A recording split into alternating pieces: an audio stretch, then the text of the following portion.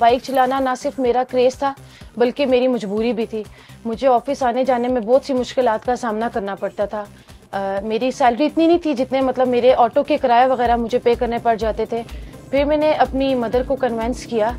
मैंने अपनी मदर से परमिशन ली उन, उनको कहा कि मुझे बाइक लेना है मुझे बाइक सिखाएँ। दैन मेरी मदर ने मुझे परमिशन दी इस चीज़ की। और मेरे बहनोई ने मुझे बाइक सिखाया। और अब मैं इस काबिल हो चुकी हूँ कि मैं ऑफ़िस खुद आती जाती हूँ और मुझे पहले तो बहुत ज़्यादा मुश्किल का सामना करना पड़ता था, लेकिन अब अल्हम्दुलिल्लाह से मैं इस काबिल हो चुकी हूँ कि मैं खुद जाती हूँ। हम माशाल्लाह से छः बहनें और मेरे वालिद साहब की डेथ हो चुकी हुई है। मेरे, मेरा कोई भाई भी नहीं है। भाई ना होने की वजह से और फादर ना होने की वजह से घर में बहुत सारे मसाइल होते हैं।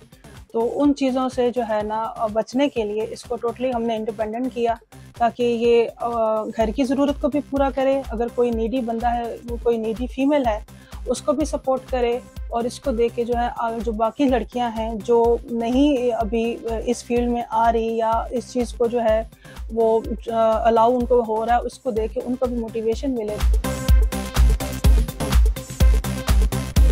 मेरे लिए बहुत ज़्यादा फ़ायदे की बात है कि मेरे लिए रिक्शा पे जाना और बाकी जो सुजुकी पे जाना बहुत ज़्यादा मुश्किल होता था और उससे बहुत ज़्यादा महँगा भी पड़ जाता था मुझे रिक्शा पे जाना और वो सेफ़ भी फील नहीं होता। तो अब मुझे लाइबा के साथ जो जाने में बहुत आसानी रहती है और ये मेरी फैमिली भी एक तरह से सिक्योर है और वो खुश है कि ये हमें सिक्योरिटी जो है वो मिल चुकी हुई है और मैं लाइबा के साथ आसानी से आ जा सकती हूँ।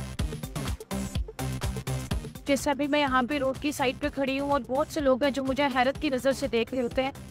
मुझे जब मैं बाजूकात में या साइड रोड पे खड़ी हुई या किसी मुश्किल का मुझे बहुत सी मुश्किल का सामना करना पड़ता है। वो हमारी सोसाइटी में भी इस चीज़ की एक्सेप्टेंस है कि एक लड़की भी वो काम कर सकती है जो लड़का करता है।